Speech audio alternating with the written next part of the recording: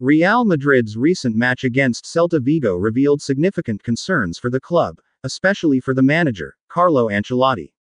While the game may have entertained the neutral, it was anything but satisfying for the Real Madrid manager. The team's performance raised many questions, particularly regarding their defensive capabilities and the overall stability of the squad. For the majority of the game, it was Celta Vigo who posed the greater attacking threat. Real Madrid, despite their reputation as European champions, struggled to control the match. This struggle was reflected in their statistics. They managed only three shots on target from a total of 10 attempts. In contrast, Celta Vigo registered five shots on target out of 13 attempts. These figures highlight the troubling state of Real Madrid's performance, especially when they should be showcasing their superiority against such opponents. Interestingly, last night's outing was not just a one off problem. It exposed ongoing issues within the team that have plagued them throughout the season. One of the biggest concerns has been the fitness of key players. Dani Carvajal's long term injury has only worsened the situation, and with other players also struggling to stay fit, the team's defensive unit is being stretched thin. Despite these mounting problems, Real Madrid have consistently refused to sign new players in the January transfer window, sticking to their belief that bringing in new talent mid season could disrupt team chemistry.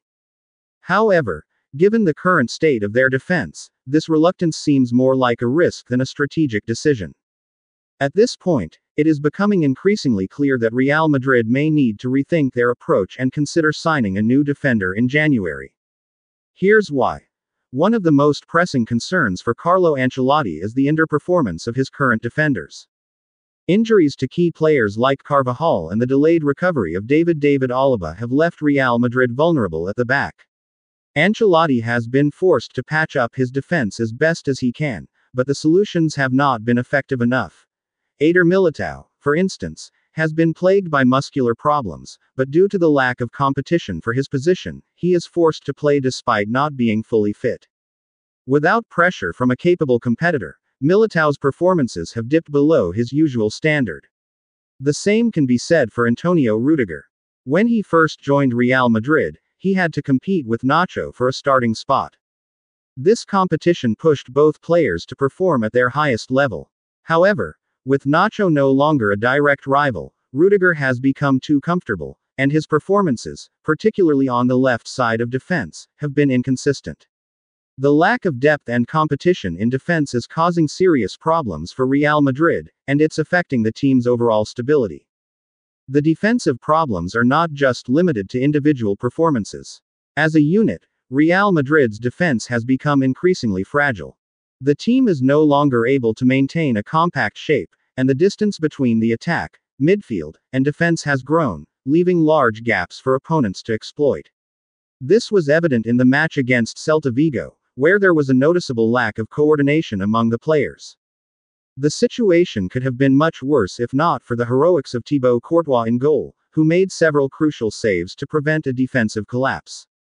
Real Madrid's defensive instability is not just a tactical issue, it is a crisis waiting to happen. If one more player gets injured, the situation could spiral out of control. Ancelotti is already working with a thin squad, and any further absences would leave him with very limited options. Even the youth players who could potentially step in, like Joan Martinez and Jacobo Ramon, are currently sidelined with injuries. Real Madrid's defense is a ticking time bomb, and the club can no longer afford to ignore it. Whether it is a fullback or a center back, the team urgently needs to bring in a new defender. The January transfer window offers the perfect opportunity to address this issue before it escalates further. Failing to do so could see Real Madrid's season derailed by injuries and underperformance. Okay guys thanks for watching. Don't forget to subscribe to stay tuned to this news channel. Also feel free to share your thoughts on the comment section on what you think. See you in the next news update.